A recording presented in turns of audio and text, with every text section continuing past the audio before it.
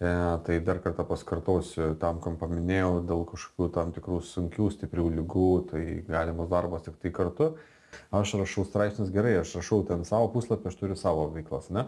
Bet aš dalinuosi ir šitoje grupėje straipsnis, aš lygiai taip pat atsisėdu kartais vakarais ir kelias valandas grįžtu surašyti kokius komentarus. Kodėl? Nes aš noriu, kad jūs tai padarytumėt, aš noriu, kad jūs tai pasveiktumėt, kad jūs išliptumėt iš savo, nors arba truputį sumažintumėte savo problemas, bet kad jūs darytumėt. Bet gaila, labai didžioji dalis nieko nedaro.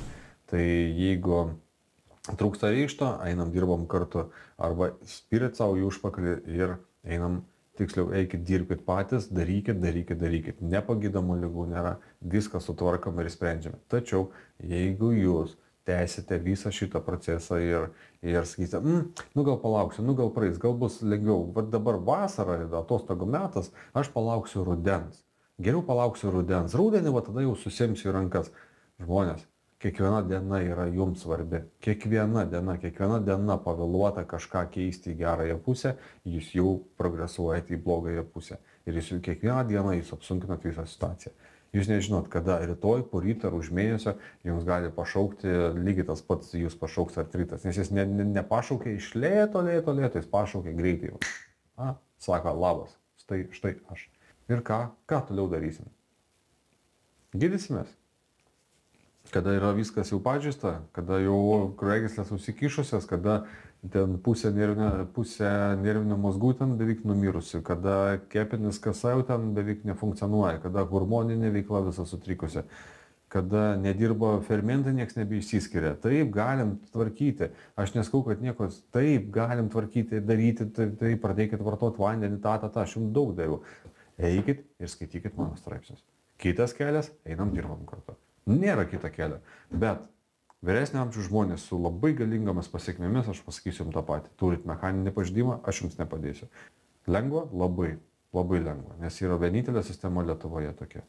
Toliau netoleravimo visi testai bėkit kuo toliau. Tai yra lygiai tas pats. Purškalas į nosį nuo slogos. Netoleravimo tiesas tai yra, parodysim tai, ko jūs šiandieną netoleruojate kokių produktų. Tai reiškia, jeigu mano kasa šiandieną sutrikus ir neįskiria tam tikrų fermentų, kaip pavyzdys tam tikrų fermentų, tai netoleruos man tam tikrų produktų.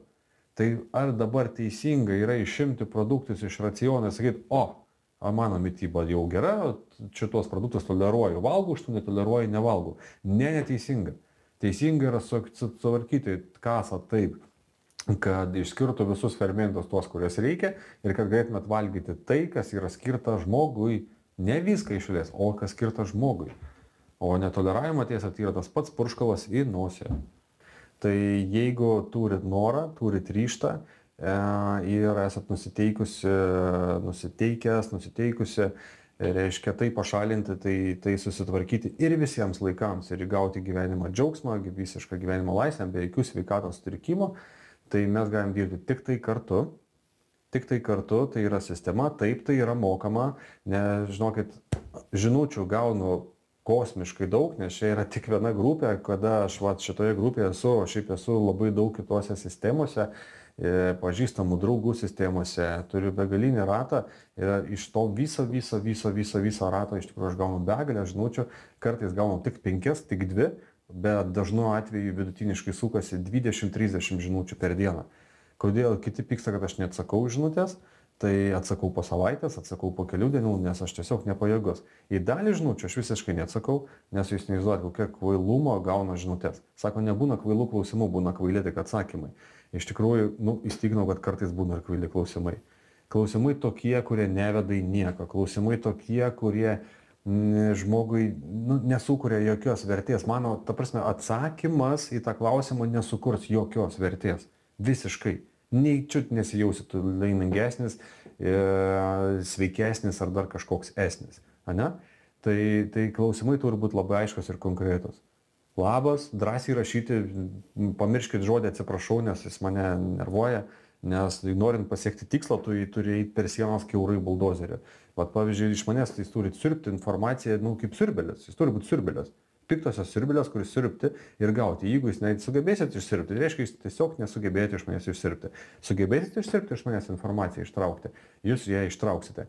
Tai pats lengviausias kelias ir būdas yra tiesiogiai dirbti su manim, Ir, ir, pas, ir, ir iš tikrųjų tai turit rašyti žinutę labai aiškiai, tiksliai, kas, jumis, kas, kas jums yra. Tai yra fanatiškas noras pakeisti esamą situaciją. Fanatiškas noras reiškia tai, kad reiškia kito pasirinkimo nėra. Arba aš tai pasieksiu, arba aš tai padarysiu, arba aš tai pasieksiu, aš tai padarysiu. Kito kelio nėra. Kito kelio nėra. Ir va čia visa esmė yra tai, kad nėra taip, mm, pabandysiu, mm, neveikia, mm, nežinau, ar aš noriu, mm, aš pasimetęs gyvenime. Ne, aš noriu tai pakeisti, aš noriu tai įgyvendinti. Jeigu šitas pas tave yra, prašom, rašykit. Jeigu šito nėra, ne.